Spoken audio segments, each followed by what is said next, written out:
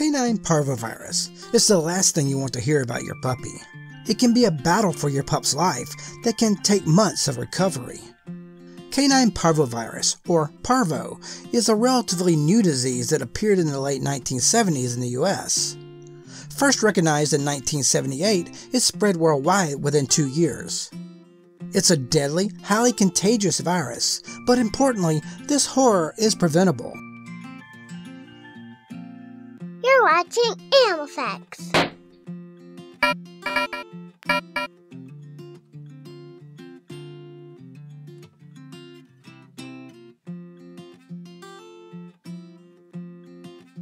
Canine parvovirus, or CPV2, is a non-enveloped single-stranded DNA virus. Yeah, that doesn't mean anything to me either. It's a way of saying that it stores its genetic information in DNA rather than RNA, and that the virus is heat resistant. It's a small virus, only about 20 to 22 nanometers in size. To put that size into a bit of perspective, a human hair is about 75,000 nanometers in thickness a difference in scale like comparing an inch to a mile. Canine parvo affects dogs, wolves, foxes, and other canids. It mostly affects puppies, but can also affect other dogs as well. The virus infects the dog's gastrointestinal tracts and is spread by direct dog-to-dog -dog contact and contact with contaminated feces, environments, or even people. The virus can also contaminate surfaces, food and water bowls, collars and leashes, and the hands and clothing of people who handle infected dogs. It is resistant to heat, cold, humidity, lack of humidity, and can survive in the environment for long periods of time, from months to years. The virus is readily transmitted from place to place on the hair or feet of dogs or via contaminated cages, shoes, or other objects. Needless to say, the virus gets around, and there is really no way to keep your puppy from coming in contact with it.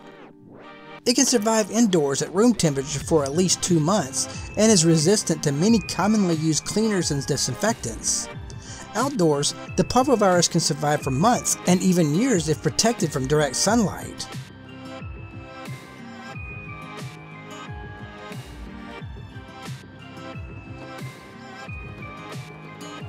Dogs that contract the disease show signs of the illness within 3 to 7 days. Lethargy and depression are usually the first signs of parvovirus. After that, vomiting, diarrhea, especially bloody diarrhea, dehydration, loss of appetite, and pain will occur, usually setting in quite rapidly. Important note, any vomiting puppy should be tested for parvovirus immediately.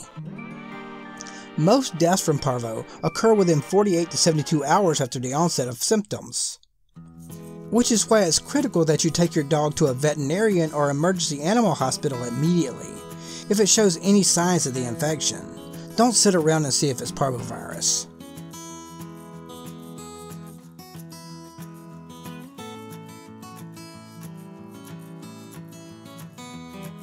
Prevention is the only way to ensure that a puppy or dog remains healthy because the disease is extremely virulent and contagious. Remember that the parvovirus itself is almost impossible to avoid.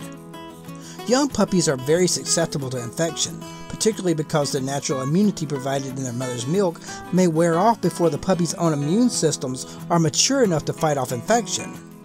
If a puppy is exposed to canine parvovirus during this gap in protection, it may become ill. To reduce gaps in protection and provide the best protection against parvovirus during the first few months of life, a series of puppy vaccinations are administered. Puppies who receive their first vaccines at 6 to 8 weeks of age, boosters should be administered at 3 week intervals until the puppy is 16 weeks of age, and then again at 1 year of age. Previously vaccinated adult dogs need boosters every year. To protect your adult dog, Pet owners should be sure that their dog's parvovirus vaccination is up to date throughout its life. Until a puppy has received its complete series of vaccinations, pet owners should use caution when bringing their pet to places where young puppies congregate pet shops, park, puppy classes, dog daycare, kennels, and grooming salons. Contact with known infected dogs or dogs whose vaccination status is unknown should also be avoided. Finally, do not let your puppy or adult dog come into contact with the fecal matter of other dogs while walking or playing outdoors, even if vaccinated. A small percentage of dogs do not acquire adequate immunity even if vaccinated.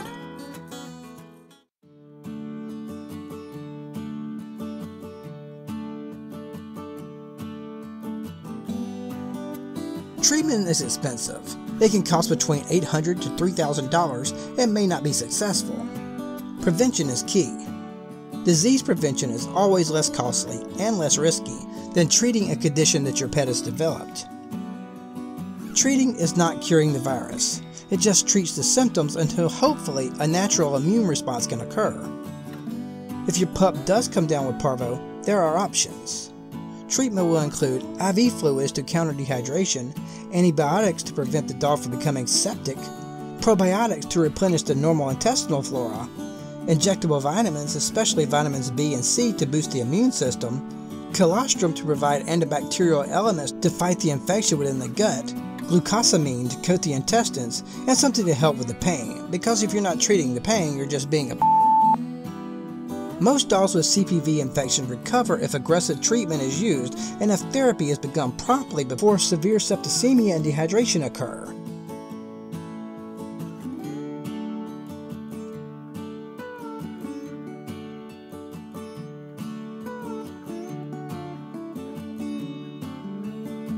You'll see a lot of theories on the internet on how to treat your pup that has come down with parvo. One such home remedy is to have a pup drink bleach. I really hope you can see why this is a bad idea.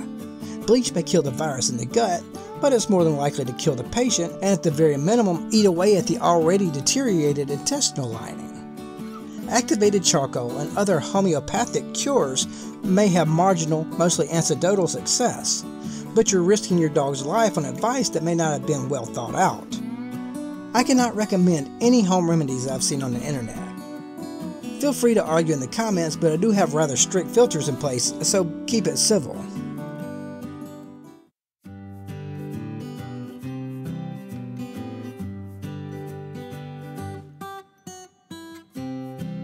For some reason not understood by researchers, some breeds are more susceptible to the virus than others. The dogs most at risk of contracting parvo include German Shepherd dogs, Rottweiler, Doberman Pinschers, English Springer Spaniels, and American Staffordshire Terriers. Special care should be taken with these breeds, especially young ones, to avoid parvovirus.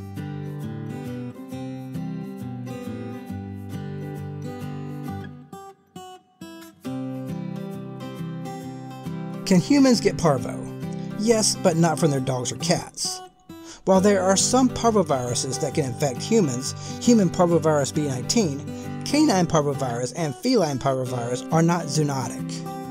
There are some dozens of species of parvovirus, but they are limited in scope. That is, mouse parvovirus is limited to mice, hamsters, and other rodents of its order. Porcine parvovirus is limited to pigs. Chicken parvovirus is limited to chickens, etc.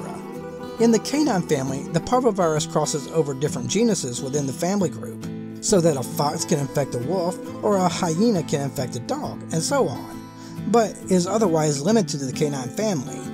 The same holds true for cats.